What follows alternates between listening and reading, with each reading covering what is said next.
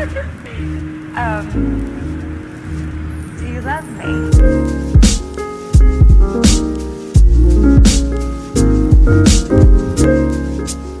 So the title of my installation that I show today is Displacement. And displacement is about a feeling. It's about belonging somewhere, but not really.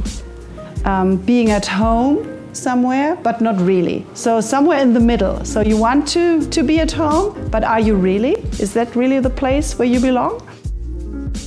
And I'm also talking about the place where I grew up, about my Heimat.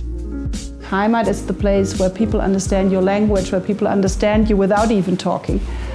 And um, can you take your Heimat with you when you go to another continent?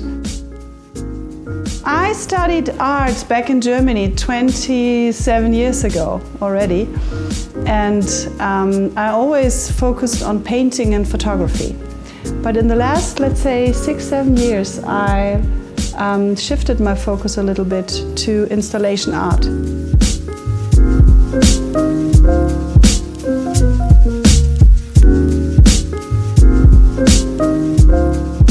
My boat is like a storybook and you can turn the pages and, and look through it and you see stuff that I brought from Germany, stuff that I found here in South Africa and I mixed it all together because this is how my life actually is.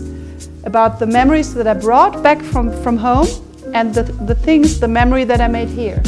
So yeah, it's like a story. I tell you a story about my life.